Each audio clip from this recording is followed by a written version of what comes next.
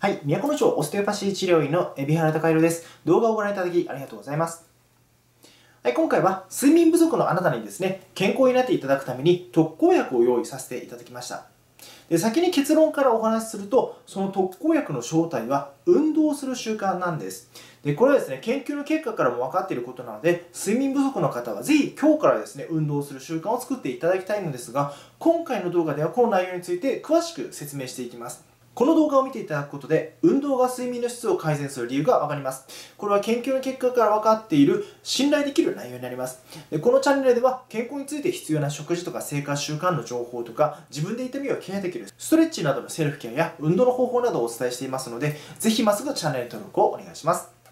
で、あなたはですね、日頃から自分が睡眠不足だな、睡眠の質が低いなと感じていることはないでしょうか？例えばですね、寝つくまでに時間がかかってしまうとか、寝ても夜中に目が覚めてしまって、そこからなかなか寝つけないとか、あるいはそこから眠れなくなってしまうようなことですね。で、あるいは朝起きても眠いとかですね、このような経験がある方は、まあまあな睡眠不足、睡眠の質が低い状態なんです。で、私もですね、以前は睡眠の質が低くて、結構大変な時期があったんですよ。で、その時はですね、まだ整体院をする前だったので、病院に勤めていたんですけども、もう仕事中でもですね、眠くて眠くて、しかもデスクワークが多めだったので、余計眠なくなってしまって、で、うとうとしてしまうと、周りの目もあるので、仕事に行くのが結構辛いぐらいだったんですよね。でも、睡眠についていろいろと学んでいたら、効率的な睡眠の方法が分かったので、今ではもう悩むことはなくなったんですが、当時はやっぱり大変でしたね。え実はですね、睡眠不足の方っていうのは結構多くて、成人している日本人の20.2%、約5人に1人が睡眠障害ある状態だと言われているんです。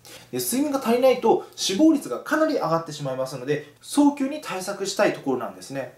でそれくらい睡眠と健康ですね、は強い関連性があります。特に体の修復は深い睡眠、ノンレム睡眠時に分泌される成長ホルモンによって行われますので、十分に睡眠が取れていない方は、前日の疲労とかダメージを残したまま翌日また疲労やダメージを積み重ねることになりますので、簡単に不健康になってしまうんです。で今回はですね、睡眠と運動に関しての研究報告を見つけたので、それをご紹介したいと思います。この研究は、国立精神神経センターや企業が協力して行ったもので、中年女性を対象に、運動する群207名と運動していない群567名で、睡眠の質を選択項目で選ぶアンケートで統計を取って比較したものになります。で、その結果なんですけども、運動する群ではですね、熟睡感と夜間トイレに行く回数にいい結果が認められたんです。で、熟睡感はですね、まあ運動して軽い疲労とか循環の改善などもあるので、よく眠れになったのかなと思うんですけども、面白いのは夜間トイレに行く回数が改善したということなんですよね。で、これはですね、この研究グループで結構驚いた内容だったそうです。まあ、ですから、この研究からもわかるように、睡眠の質を上げようとするのであれば、運動を行う必要があるということになるんです。また、睡眠3時間前に運動を行う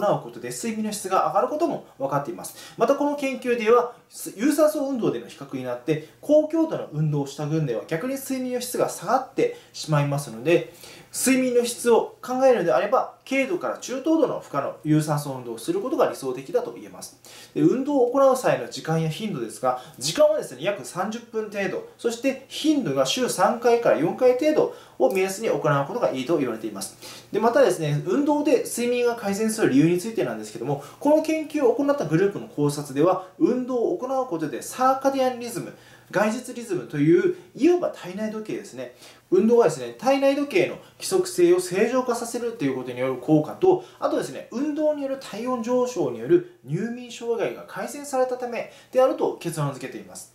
ただですね、運動することでストレスを解消する効果も大きいですので、私は個人的にはですね、ストレスが解消されることによって睡眠の質が改善されたのではないかなとも考えています。これは個人的な意見ですけどね。で、また、睡眠の質はですね、運動だけでなくて、正しい食事にも深く関連していますので、日頃からですね、和食中心の食事を行うことも睡眠にとって非常に大切なことです。で睡眠に関してはですね、夜にスマホとかテレビとかでブルーライトを見てしまうことも睡眠の質を大きく引き下げてしまいます。まいますで夜にですね、布団の中でスマホを見ていると寝つきが悪いってことってありますよね。で、ブルーライトと睡眠の関係や対策については、以前の動画で詳しくお話ししていますの、で、そちらの動画をご覧ください。で、もしですね、なかなか睡眠の質が悪くてですね、体が悪くなってきてしまっている、不健康になってきてしまっているという方は、ファスティングがおすすめです。ファスティングを行うことで、体を修復するですね、成長ホルモンをたくさん出してくれますので、一気に体を修復して健康に近づけてくれますので、例えばなかなか睡眠時間を取れない方、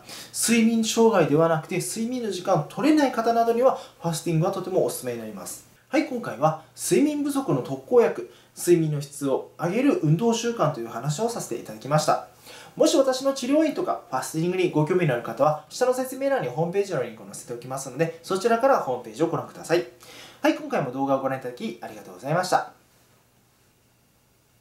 動画を最後までご覧いただきありがとうございました。動画が少しでも役に立ったなと思われた方は見ただけで終わらず実践するためにどのように実践したいとか実践した感想などぜひ今の気持ちをコメントに残しておいてください。また LINE アットでは動画の更新情報を毎日お届けしているほかご相談やご質問などの無料相談あるいはこのような動画が欲しいなというようなご要望なども受け付けておりますのでぜひご登録ください。あとはですね下のグッドボタンを押していただけると嬉しいです。最新動画の見逃しがないようにこちらのチャンネル登録もお願いします。それでは次回の動画もお楽しみに。バイバイ。